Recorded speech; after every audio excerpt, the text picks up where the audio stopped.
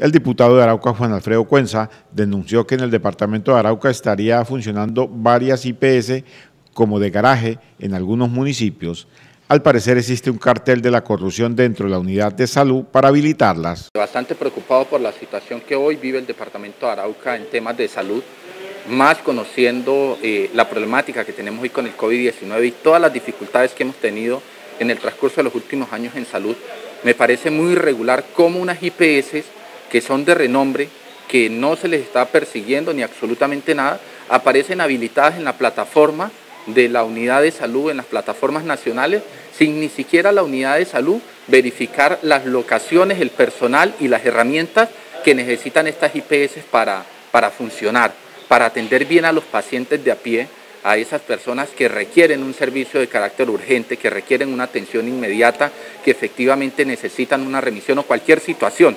Eh, pues pude constatar de que en municipios como Puerto Rondón, Cravo Norte, Saravena, Fortul, han aparecido una serie de IPS habilitadas y vamos y verificamos y lo único que hay es una locación, un local o una casa a la cual la riendan, le ponen un letrero y que la gente llame a ese número de teléfono.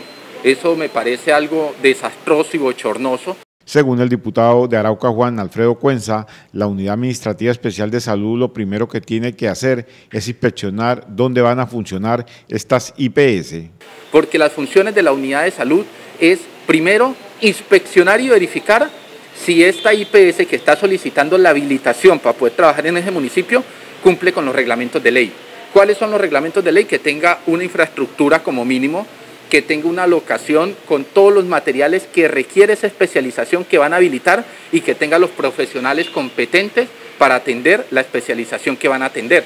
Pero no podemos seguir habilitando, eh, llamémoslo vulgarmente, eh, IPS de garaje para que atiendan a la población más vulnerable. Porque aquí no se está atendiendo a la gente de plata, aquí se está atendiendo a gente vulnerable de X o Y empresas, EPS, que son las que contratan el servicio de salud con las IPS y me parece una anomalía.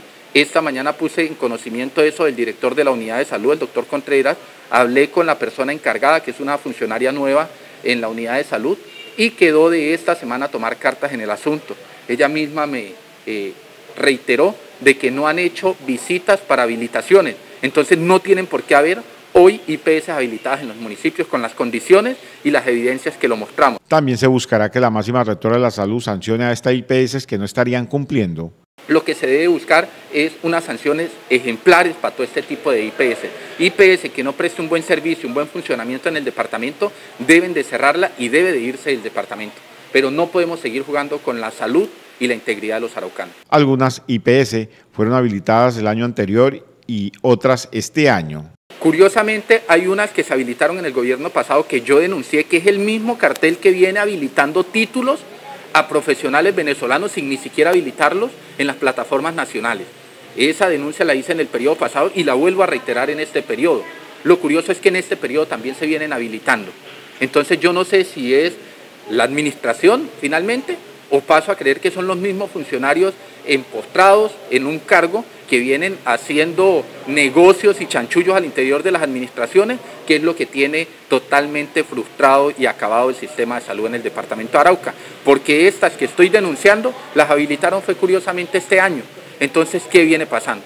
Estoy esperando reunirme directamente con el director de la unidad, le pasé un escrito con evidencia y con absolutamente todo para que él constate que sí es verdad lo que se está diciendo, que no podemos seguir alquilando casas y poniéndole un letrero de mal gusto y decir que ahí funciona una IPS porque es que allá no se van a atender ni marranos, ni gallinas, ni absolutamente nada. Ya se van a atender ciudadanos que necesitan todos los mecanismos y herramientas para que tengan una buena atención. En el departamento de Arauca, al parecer, existe un cartel que estarían habilitando IPS en esta región del país. Hay un cartel de habilitaciones de IPS en el departamento de Arauca y eso ya está en conocimiento de la Fiscalía, del Procurador Regional de Arauca y efectivamente del director de la Unidad Administrativa de Salud y la persona encargada ahora de esta entidad que es la que, la que se encarga de habilitar. Entonces, si ellos no toman cartas en el asunto, finalmente vamos a escalonar estas quejas a nivel nacional porque no podemos seguir permitiendo eso en el departamento. Las denuncias fueron interpuestas ante las autoridades competentes en el departamento de Arauca.